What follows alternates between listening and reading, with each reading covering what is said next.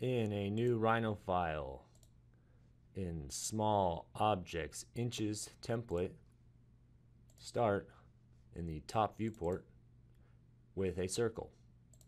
Center of the circle at the origin 0, enter. The first diameter is going to be 4 inches, 4, enter. Spacebar to repeat the previous circle command. Center of our circle 0, enter.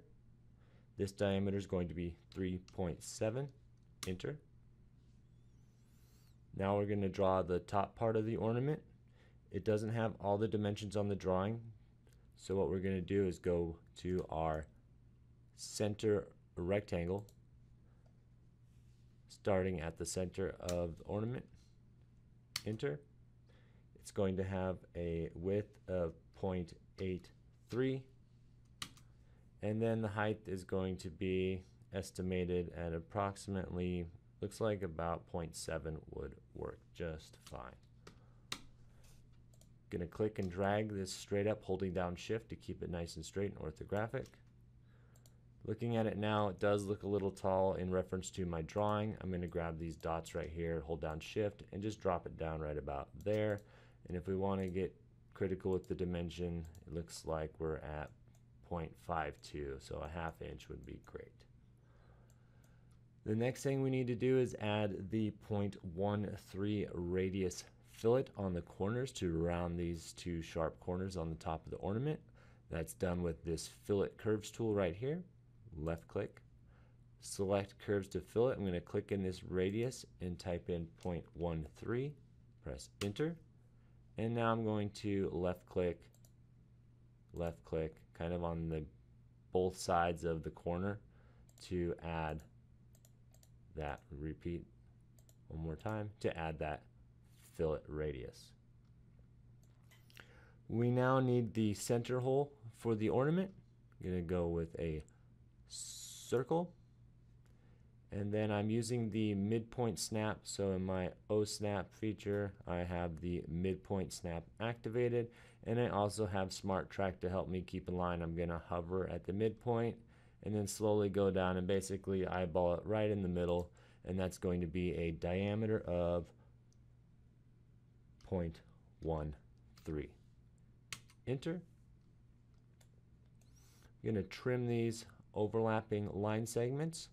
Trim tool, selecting everything. Notice I went from right to left with a selection window by holding the mouse down and it gets everything that the dashed box is either in outside of or intersects with. If you go left to right, just what fits inside the box. So there's a little trick right there for you.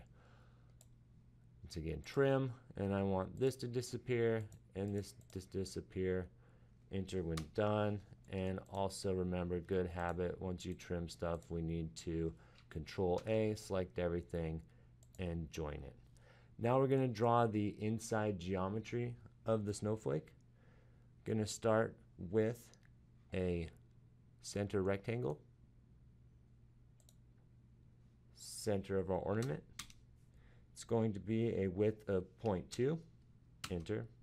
And then the height basically just needs to come up and intersect with the rest of the ornament. Now we're going to draw the little branches off to the side. Those branches do not have a critical dimension, so you can kind of estimate or do a little freestyling if you'd like. Going to do another center rectangle, starting at the center. Once again, it's going to be, probably looks like it's about the same width, so I'm going to go 0.2 enter and then as far as the height looks like it's going to be about a half an inch. If you look down in the bottom left hand corner down here it kind of shows you how far things are moving. So a half an inch will be good. Gonna select that rectangle and rotate it from the origin zero enter looks like 45 degrees. Gonna move it over and up. And there's a little additional feature on this snowflake. I'm going to go to our polyline tool, a left click, draw a line from this corner, holding down shift or the smart track might take care of it to draw a nice straight line. Trim, click, click, Press enter, select your object to trim first, and then start trimming. Join those together. And I'm gonna actually move this over a little bit, just like that. And if I need to make this a little longer, I can always kind of grab these and also kind of freestyle adjust the angle. I'm gonna leave it just about right there. Need to mirror this on the other side. Type in the command mirror and the start of the mirror plane is going to be at the midpoint of this top segment holding down shift or using the smart track to keep us in line nice and symmetrical right there. And then we're going to make a copy of this selecting those two objects. Copy tool right here keyword copy. Clicking at a point to copy from, holding down shift, and it's going to be about right about there. These four objects are going to get mirrored from the origin, basically 180 degrees on the other side, just like that. Going to trim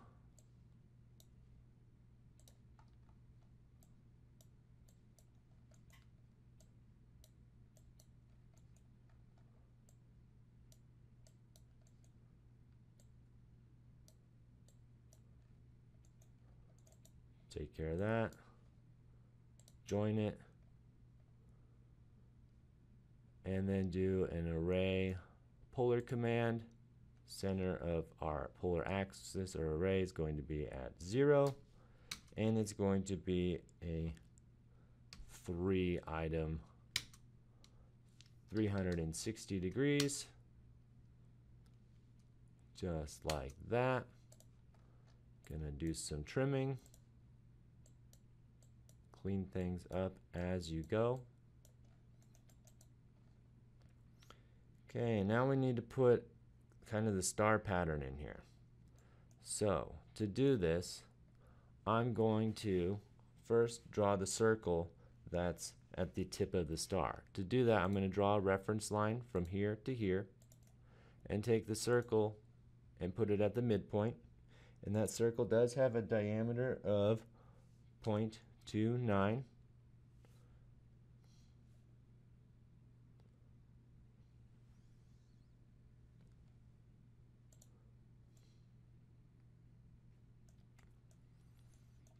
Going to take that circle and use the polar array command to copy it from the center six times.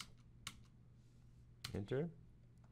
And I'm gonna delete that. It's no longer necessary.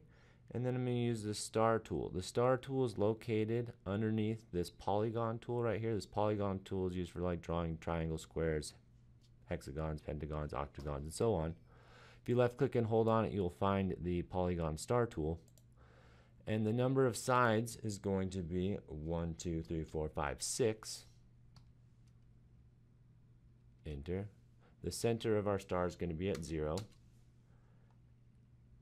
And then this is going to be at the center of the circle. So we need to find the center of the circle by turning on our center snap and kind of hovering towards the edge and it should snap into place. I'm going to left click and then I'm just going to bring it in. Just going to eyeball it something like that. And then I'm going to repeat that star command by right clicking center of star at 0. Find the center again. And that's not actually going to work because this is going to cause some problems. So we need to do an alternate method for that. That is with the offset command, O-F-F-S-E-T. And we're going to offset this star a through point distance. So we could type in a specific distance, but we don't know that right now. So what we're going to do is type and click on through point and just use our mouse to kind of eyeball it. So we see a lot of extra geometry around the outside. It's okay, just basically go inside a little bit and it looks like I'm going in about 0.1.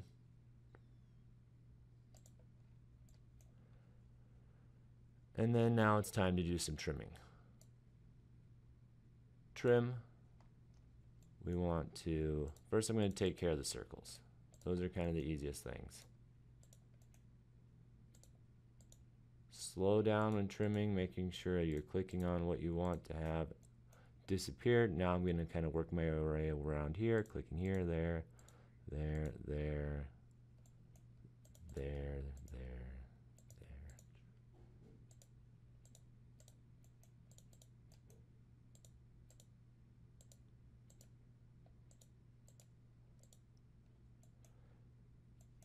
And get rid of these little inside segments.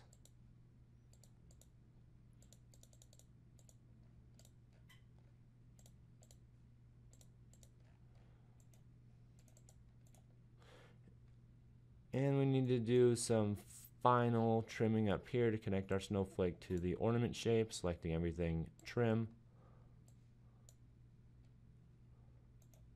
Or everything that we need. We really don't need to select this outside. And then have those disappear. Disappear.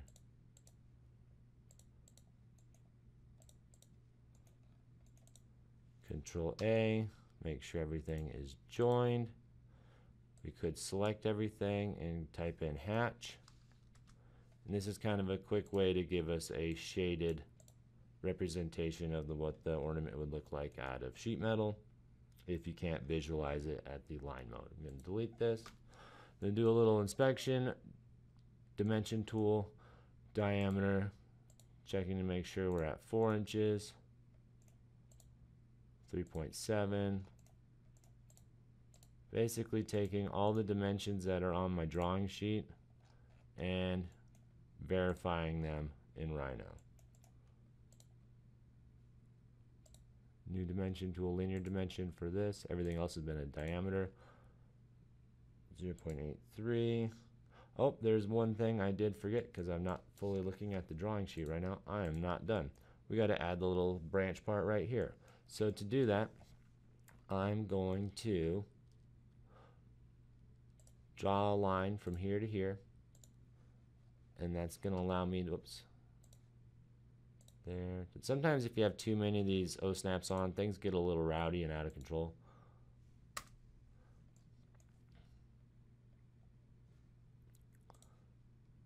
Midpoint, right about there, right about there. I'm going to go a little farther.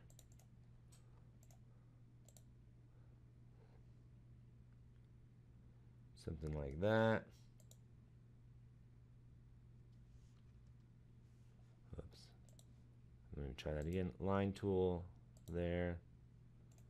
Right click and done. I'm going to take this line segment, one, two, three, copy it, keep everything nice and kind of parallel, and then make a copy of these segments by using the mirror command.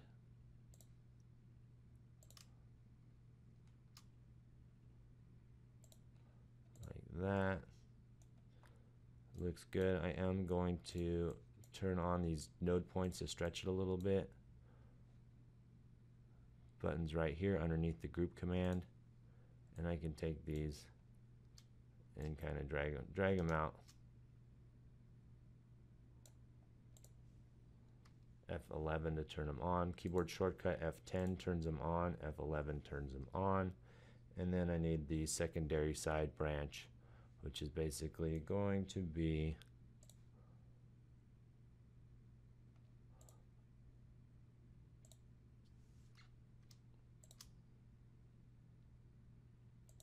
something like that. Once again, since there's no dimensions on this feature, it's just based off of looks. It's not a critical tolerance. All snowflakes are different, so don't feel bad if yours doesn't look exactly like mine or the one on the drawing sheet. Okay. Let me mirror that again. I wasn't paying attention.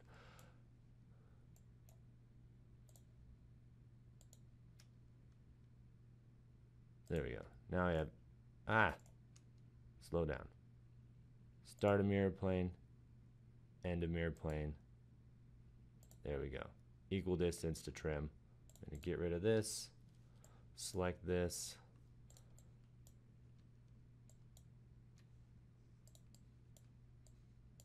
There go, trim. I'm Gonna get rid of the geometry I don't need because I definitely don't want to have to trim all this after I use the polar array command. Selecting it, joining it, polar array,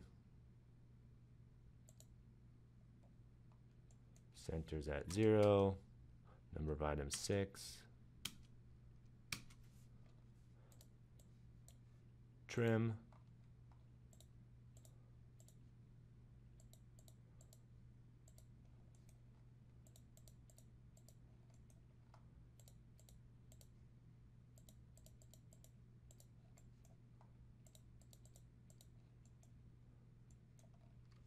enter when done, select everything and join.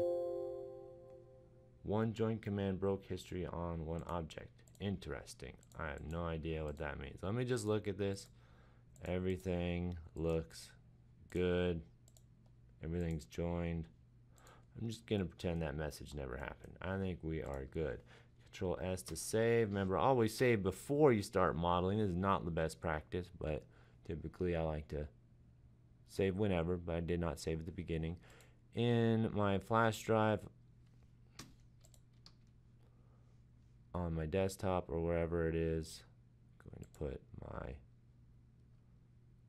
snowflake 2 snowflake ornament initials rhino 6 file type save that concludes drawing this snowflake ornament in Rhino 6. Thank you.